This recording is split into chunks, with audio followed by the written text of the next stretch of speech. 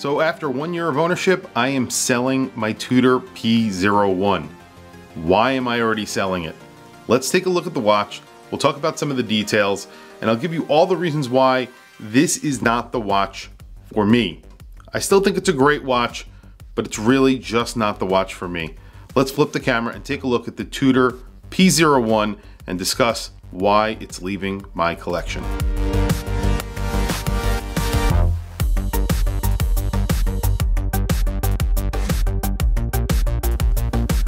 So as I mentioned in the intro, there are really two reasons why I am selling this watch.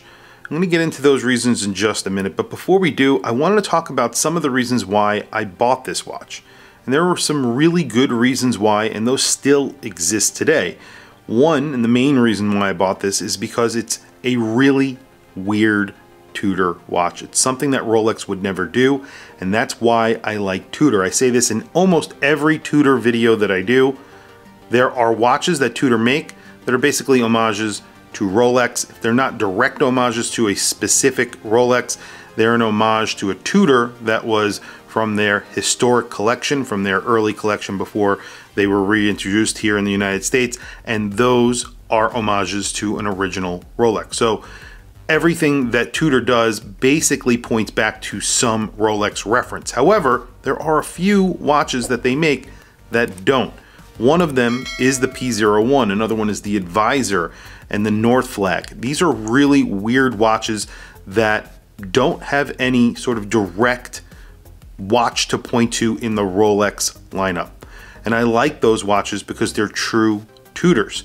And I feel like this is one of them. This was a prototype that never was made, and this is a reissue of that prototype. They did make a Rolex version, but at the exact same time, they made a Tudor version. It came on a bracelet, and that's why I retrofitted a bracelet to this watch. And I think it looks phenomenal on this bracelet. Now, I can't say whether or not this is an original Tudor bracelet. It came with the watch, except it wasn't fitted to the watch. And what I did was I took a Dremel to it and retrofitted it so it would actually fit the case. You could see there, it fits right into the lugs, and these lug structures on here are very weird. One of the reasons why I like this watch is because it's weird, as I mentioned. You get this little flip up thumb thing. I don't know what you would call it. It fits right in between the lugs.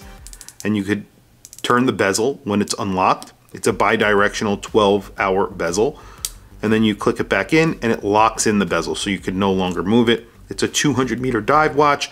You have a domed sort of box sapphire crystal, very vintage looking. It gets a four o'clock crown, which is very weird something very out of the ordinary for Tudor, definitely for Rolex, and I think it looks good at that position on this watch. Now, a lot of people compared it to an SKX, a Seiko SKX, with obvious reasons because they both have crowns at the 4 o'clock position. Both of them are stainless steel dive watches. They look kind of similar, a little bit similar in my opinion as well. I own an SKX. Uh, cases are very different. The reason why I am selling this watch, the number one reason why I'm selling this watch is because of the lug to lug. The watch measures in at around 42 millimeters, almost 42 millimeters spot on, depending on where you catch it. It's a thick watch. All Tudor Black Bays are thick just by their nature. So 14.5 millimeters thick. It's a 200 meter dive watch. Not terrible, but it is on the thicker side, especially considering the prices on these watches. But you also get a nice domed boxed sapphire crystal. But like I said, the biggest problem on this watch is the lug to lug. And there really is no effective lug to lug. It is the lug to lug. It's 56 millimeters basically. It's 55.8, 55.9 depending on where you catch it, but it's almost a 56 millimeter lug width, which is very, very big for almost any wrist. Unless you have a seven and a half inch wrist and above, I think this is going to be hard to wear. Now I have the original rubber leather strap. It wears exactly the same on that strap. And in fact, you get an extra end link on the end of that rubber strap. So it's a very uh, awkward looking watch on that strap in my opinion. That's why I put it on the bracelet. But when you put it on the bracelet, it becomes one of the heaviest watches that I own hands down. Now, if you like a heavy watch, this is really a very, very heavy watch. Um, it looks good on the bracelet. I think it looks much better than it does on the strap. As you can see, when I move it around, it really does blend well with the case. It even sort of blends well with these end links. Everything on it works really well. It's good looking, but like I said, it's that lug width. And as I move smaller, I've been sort of attracted to smaller watches. And here is what's replacing this watch. I know this is kind of a weird replacement for such a tool watch, but this is a sports watch.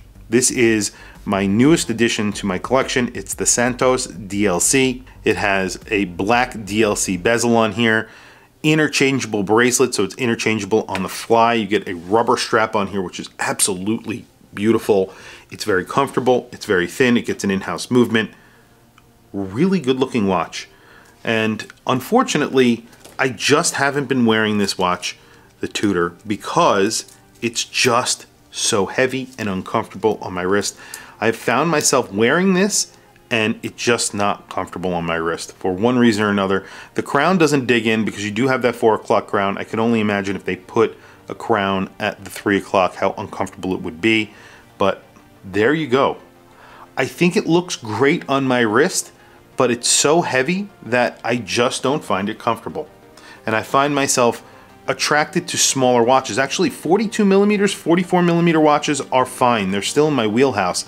It's just that something with a 56 millimeter lug span cannot be in my collection anymore. I cannot do that lug span. You can almost see it reaches the extremities of my wrist. And I have a seven and a half inch wrist. I don't have a tiny wrist. I have sort of a medium to large wrist. And there you go.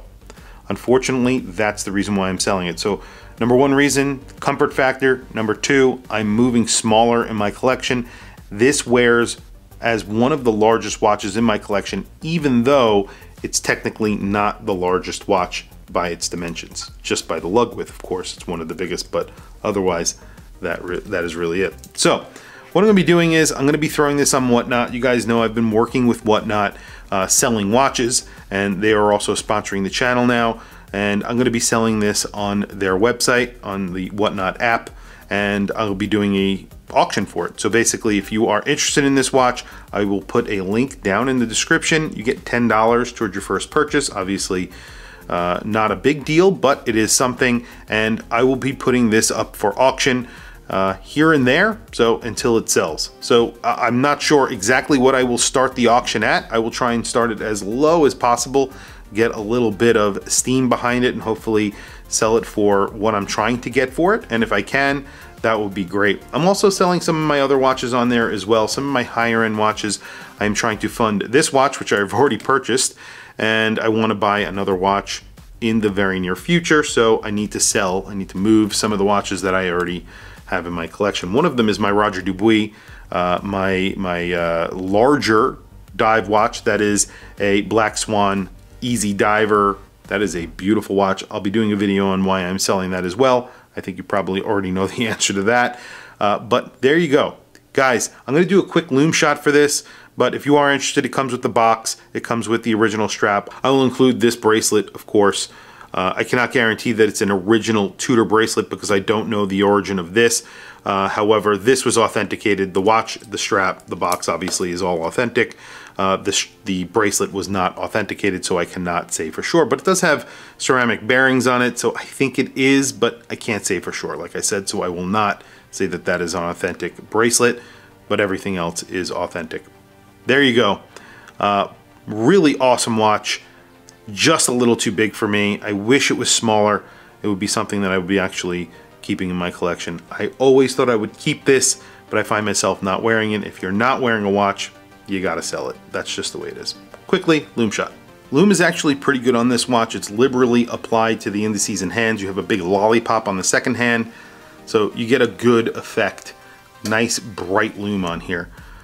Uh, unfortunately, I will be sad to see this watch go when it does sell. Um, I really enjoyed it. I really loved the bracelet. Uh, obviously, I retrofitted this bracelet to the uh, to the lugs, uh, so it comes off pretty easily. Uh, I did make the end links essentially with a Dremel. I cut the end links with a Dremel, so it doesn't look too good on the underside. On the top side, they look great. It doesn't, you can't see any of the marks that I made with the Dremel, but other than that, Uh, that's really the only damage on this watch is the uh, bracelet, which, as I mentioned, is a possible aftermarket. Tell me what you guys think in the comments below. I want to hear from you guys. Please also don't forget to like, subscribe, hit that bell icon. It is super helpful for the channel and I very much appreciate it. Please follow me on Instagram. My Instagram is WatchChrisBlog, all one word. I have some links in the description. Those links are to Amazon. If you click those links and buy anything, it helps support the channel. It doesn't cost you anything extra. However, I very much appreciate it. Anyway, thank you for logging on. I'll catch you guys in the next video.